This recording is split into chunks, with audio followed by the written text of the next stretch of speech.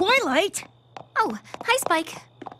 It's the middle of the night. Why are you pacing like this? Frankly, I don't know how you can sleep at a time like this. 3 a.m.?